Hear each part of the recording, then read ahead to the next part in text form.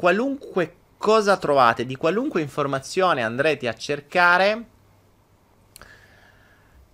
troverete sempre il contrario di, di, di, di tutto. Cioè tutto il contrario di tutto. Eh, ma qualunque cosa, eh, la legge di attrazione, chi vi dice che eh, dovete mandare l'intenzione una volta e scordarvela, chi vi dice no una volta tutti i giorni, chi vi dice che la dovete dire agli altri, chi vi dice no la dovete tenere segreta, ognuno porta le sue cose, ognuno parla della propria esperienza. Mm, io penso che la cosa più corretta da fare sia mh, mm, proprio un concetto di comunicazione, che è una cosa che, e questa è la perla di oggi, è il consiglio che vi do sempre, siate corretti nel comunicare, siate, mh, mm, siate chiari, siate eh, specifici.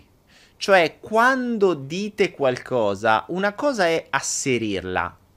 Il latte fa male. Una cosa è dire, ho letto diversi studi di diversi scienziati che dicono che il latte fa male perché X e Y. Per quanto mi riguarda, nella mia esperienza personale, il latte a me fa male, il corpo non lo sopporta. Ma dire da lì il latte fa male, ora il latte faccia male probabilmente è talmente tanto assunto che eh, ci sono studi davvero mh, grandissimi. Però vi dico, io non posso dirvi che il latte fa male in assoluto, vi dico che fa male a me vi dico che ci sono studi come The China Study che hanno dimostrato in 30 anni di studi che il latte è una delle cose più deleterie, latte e caseina, ecco perché i formaggi bisognerebbe eliminarli come la peste e dire a un occidentale di, di, di eliminare i formaggi è come dargli una pugnalata. E, ehm, eh, per cui siate sempre specifici, cioè quando asserite qualcosa date anche le fonti, perché se studiate un po' di PNL o trovate uno di fronte a voi che ha studiato un po' di PNL, vi dice subito scusa come fai a saperlo? Cioè, ma sai, lo zucchero fa bene, un altro, oh, lo zucchero fa male, oppure i, i grassi fanno bene, i grassi fanno male. La domanda classica, metamodello classica di PNL è come fai a saperlo? Perché se come fai a saperlo è l'ho letto su un libro, ho visto un video, Oh, me l'ha detto mio padre, allora eh, vabbè, a posto. cioè, potevi anche sta zitto. Però spesso e volentieri si asseriscono delle cose di cui non si ha veramente una fonte e soprattutto, cioè, si ha, fo- si ha una fonte ma non si ha esperienza diretta. Le guerre! Le guerre per prime, la maggior parte delle persone non sa perché cazzo sta in guerra. Cioè, voi pensate che, che ad esempio i nazi skin sanno che minchia è il nazismo è la vera storia? No litigano, fanno casini, beh, fanno un sacco di caciara, ma non sanno che cosa c'è dietro. Così come tutti quelli che, eh, che, che, che, fanno guerre sante, i musulmani, i cristiani, fanno guerre senza sapere perché.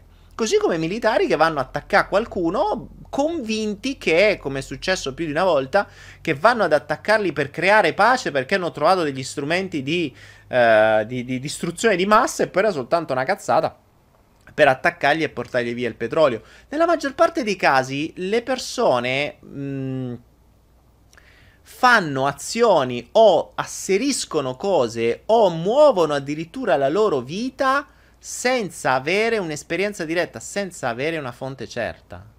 Ragazzi, la maggior parte di... La cosa assurda, e qui vi do un'altra perla, la cosa assurda è che molte delle vostre credenze, molte, molte delle cose di cui siete assolutamente certi, voi ne siete assolutamente certi non perché avete un'esperienza personale, ma perché avete dato potere personale a qualcuno che ve l'ha detto. La cosa assurda è che spesso e volentieri voi avete un'esperienza personale che è totalmente opposta alla, alla credenza che avete. Per esempio, la gente è convinta che quando hai bisogno di energia devi mangiare. C'è tantissima gente che è convinta di ciò. E, tu vai a dire a uno che, che ne so, fa il muratore, che si stanca e dice eh, no, no, io devo mangiare perché mi devo mettere in forza. Oppure, i, insomma, è spesso legato il concetto di cibo ed energia. E tanti hanno questa convinzione. Questo perché? Perché, boh, qualcuno ve l'ha detto. Perché se tu gli chiedi come fai a saperlo, vi, vi propineranno qualcosa che hanno sentito. Eppure, eppure, tutti su questa terra hanno un'esperienza, hanno centinaia di esperienze reali all'interno dei loro ricordi in cui, dopo aver mangiato, gli viene l'abbiocco. L'abbiocco, l'abbiocco, il cosiddetto calo attenzionale postprandiale, cioè tu dopo pranzo hai un calo energetico, non hai un picco energetico, eppure questo lo sanno tutti. Tutti! Tutti hanno provato l'esperienza e la provate ogni giorno che quanto più mangiate, più dopo vi abbioccate. Quanto più mangiate, tanto più dovete poi dormire.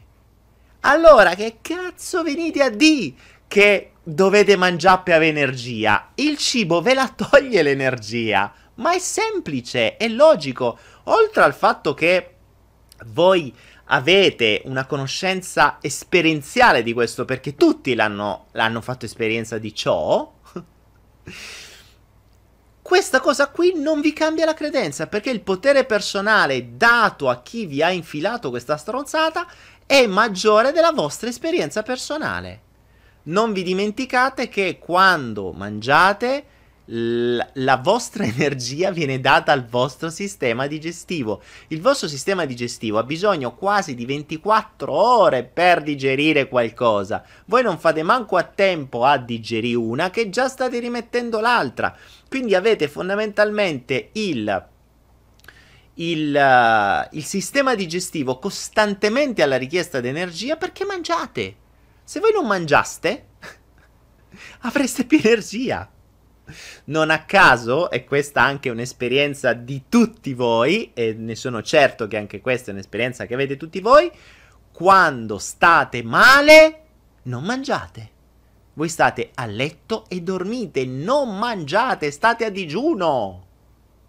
Perché il corpo ha bisogno di energia per combattere il virus. Non vi fa venire da mangiare, perché se no se mangiate l'energia invece che i globuli bianchi che stanno a combattere col virus, deve andare allo stomaco. E se va allo stomaco, non può combattere più i virus. Quindi, mi raccomando, quando, mm, eh, quando co- vi convincete di qualcosa, cercate la vostra esperienza personale, perché a volte l'esperienza personale è totalmente opposta, è totalmente opposta a quella che avete voi. È come il concetto di quello che vi raccontano, il, uh, la mente non riconosce il non, ma è una cazzata, è una cazzata grandiosa. Perché avete migliaia di esperienze in cui il non viene riconosciuto. E quindi non è vero che la mente non riconosce.